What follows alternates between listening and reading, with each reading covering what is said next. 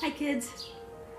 So, this week, I had to work all week, but at the end of the week, I got sick. And therefore, I had to make up work on Saturday. We had stuff to do Sunday, so I didn't go anywhere.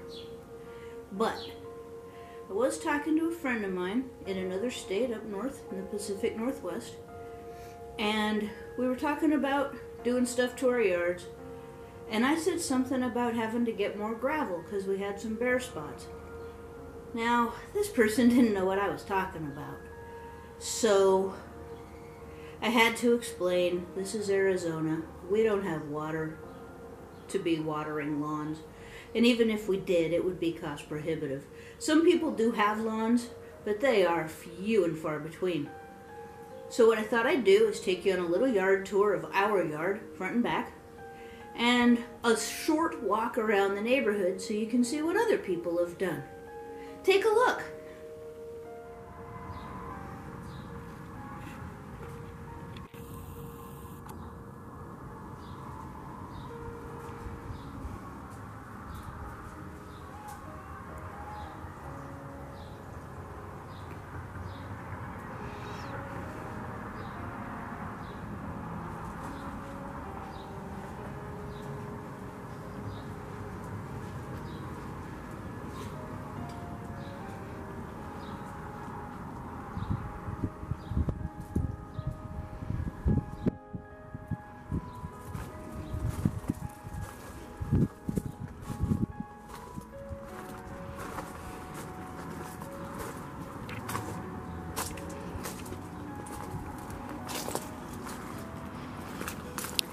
Looking to see if there's any grapefruit on the tree. It doesn't look like there are. However,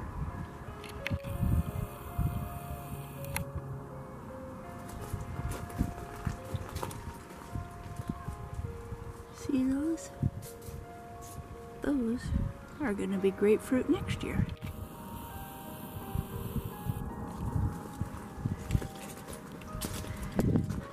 So this is a typical Arizona yard. Bushes, gravel, river rock at the edge sometimes, not everybody. We have a bird feeder, we have lots of doves. There's one now.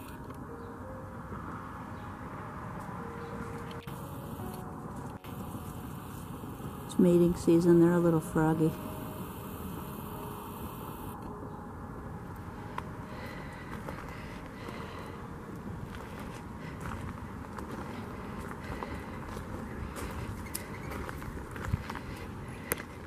We do have flowers and some color. Not a lot.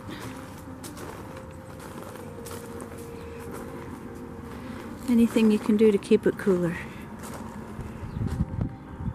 That flowers kind of sort of briefly, not for long. These usually flower. That one isn't doing flowering this year, I don't know why. These are the same plant. They flower. That one doesn't flower. She just wanders. See lots of mounds just to add depth, texture. This is the orange tree. I don't want to get too close because there is a bird's nest in it right now.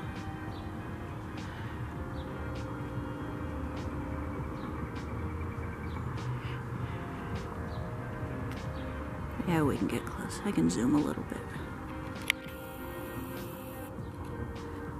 Got some good oranges. They're just getting ripe.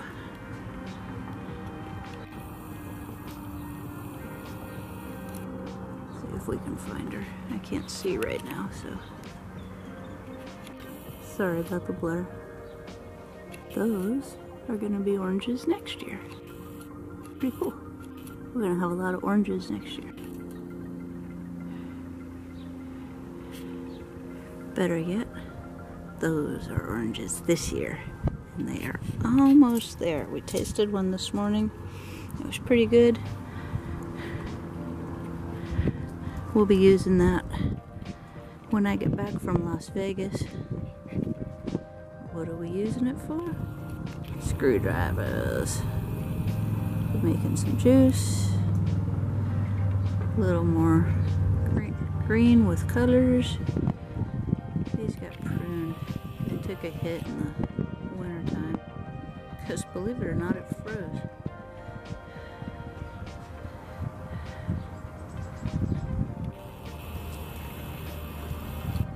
Best yard ornament we have right there.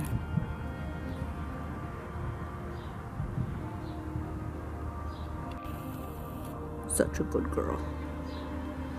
So that's our front yard. I'll be right back.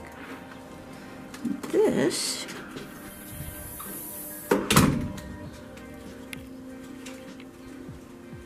is,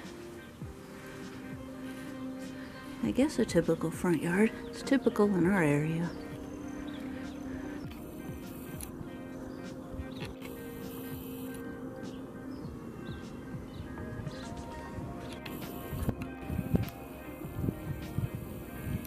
I love that plant. It's so pretty.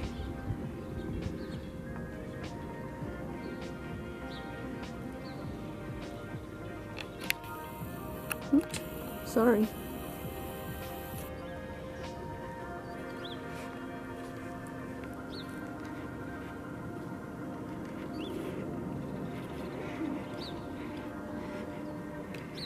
We're in the middle of a yard revamp here. We're redoing the drainage. This is the neighbor's yard. He is also in the middle of a yard revamp to redo his drainage. It's an issue here.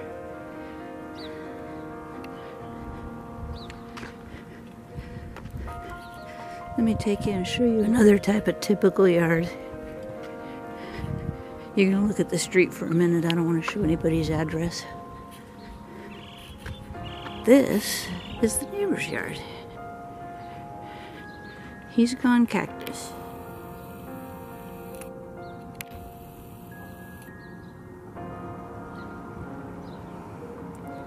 And palm tree. And you may or may not know it, palm trees are a lot of work. He's out here all the time doing palm trees. I don't want that much work.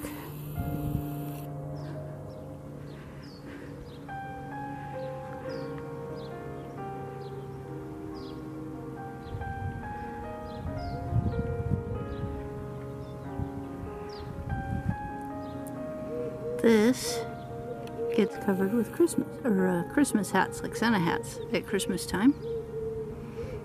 All the tall sprigs of the cactus, they each get a Santa hat. That's an organ pipe.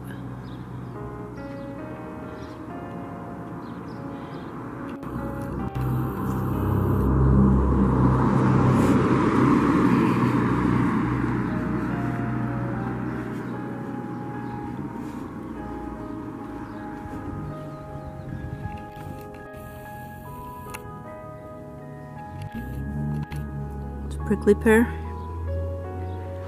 Another organ pipe. See if it's got any pears left on it.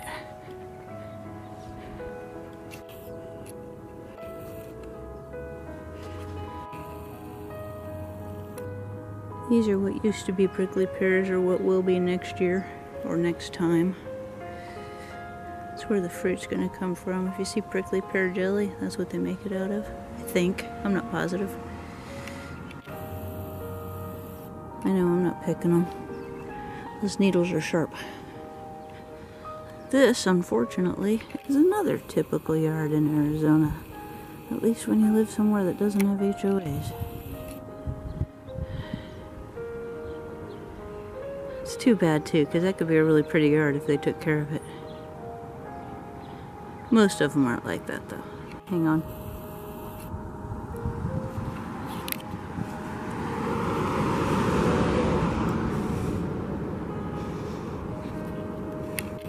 Most of them, though, are just kind of like this.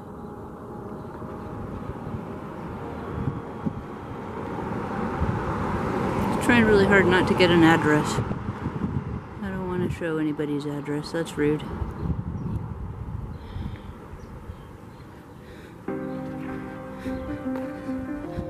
fences are mostly block. A lot of places they're just chain link. But for privacy sake, most people try to get block stucco, stucco looking.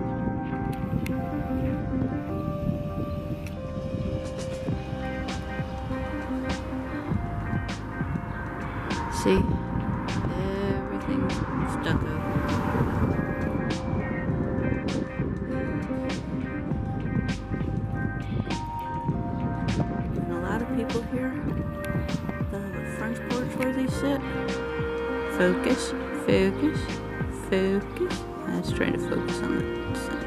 That. They may have an umbrella like that for extra shade.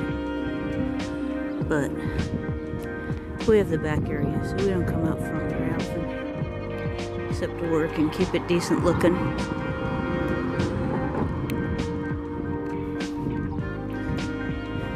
You have to keep your cars in a garage or under a cover.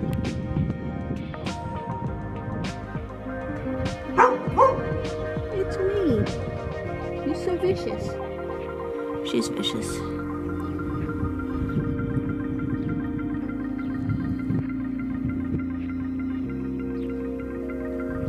Lots of trees, lots of trees, lots of trees. That's all tree. That is the car cover. People keep their toys in there. And then they keep their cars in the garage. But some people have those in front of their house.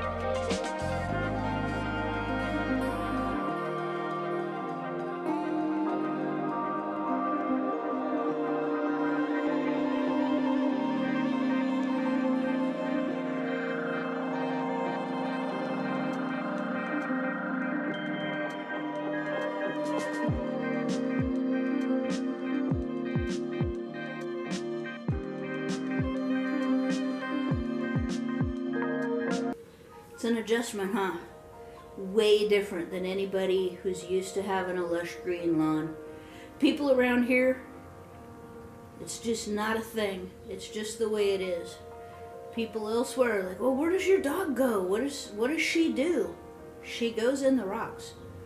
And it's actually a lot easier. It's easier to pick up.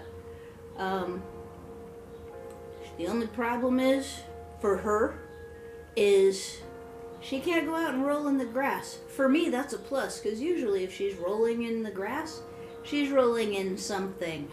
Something that some other animal has left behind. So, for me, that's a win. Um, it's a lot easier to pull weeds. It's a lot easier to just water the plants. We have everything on an underground drip system. So everything's on a timer. We don't even worry about it. It just comes on. Every Saturday morning the trees water, not a big deal. It's just done. Which is great because I'm not going to remember to water. My dad's not going to remember to water. It's dealt with. Uh, I pick up weeds or pull weeds in the backyard twice a week when I'm picking up other presents that have been left for me. And my dad does the weeds out front. Eh, yeah, a week or two. Depends on what the weather's been and how much they're growing. But that's it. That's a tour of Arizona typical yards, at least typical in our neighborhood and most neighborhoods that I've seen that are about this age, the style of house, things like that. Um, so let me know in the comments, do you think you could deal with uh, a gravel yard? I love it. I think it's great. Let me know how you feel about it. Thanks, kids.